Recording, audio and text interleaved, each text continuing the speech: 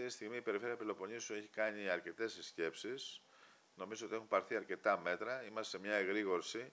Η Διεύθυνση Ανάπτυξης και γενικά η ΔΑΟΚ, η Διεύθυνση Αγροτικής Ανάπτυξης, έχει πάρει όλα τα μέτρα και ο κύριος Φρόρος, ο Διευθυντής, και ο κτηνίατρος κύριος Ραβανής, οι οποίοι παρακολουθούν και τις επισημάνσεις που γίνονται στην περιοχή, αλλά και στην ευρύτερη περιοχή, μια και αυτά εμφανίστηκαν στην Αργολίδα, ώστε να είμαστε σε μια εγρήγορση για να μην έχουμε τέτοια παράλληλα προβλήματα και στην περιοχή μας.